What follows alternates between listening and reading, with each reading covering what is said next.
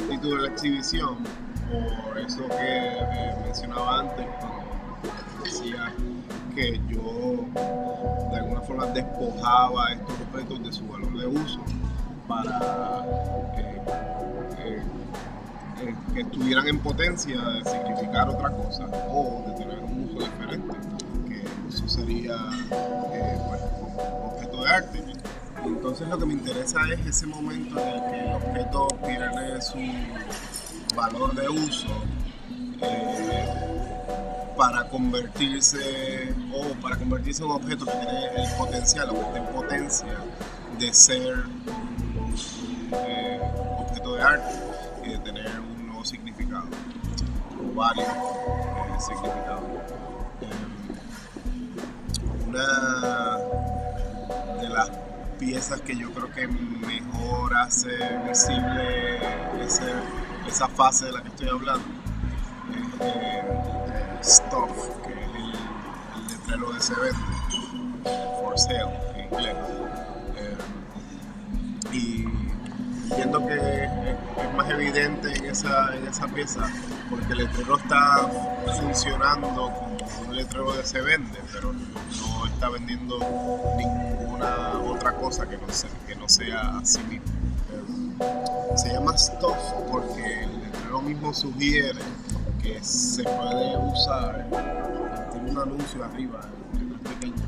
que dice que se puede usar para, para vender eh, eh, home, cars and stuff. Eh, y para mí, a mí me pareció pertinente hacer un señalamiento a ese término porque me parece un término análogo, podría ser un potencial de ser un término análogo a, a- a la palabra arte. En ese sentido, pues, tampoco es atípico porque Ready-Made existe hace muchos años, pero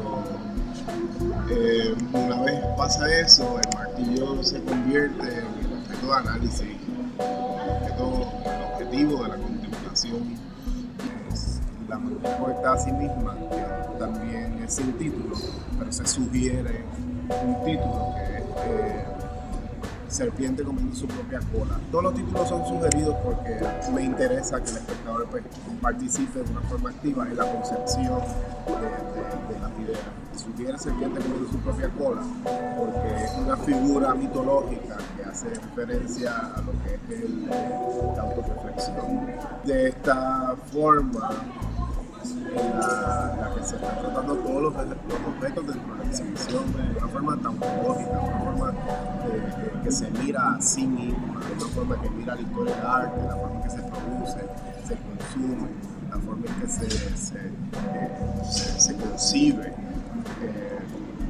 y la- la- en este caso, eh, es, literal, esa, esa analogía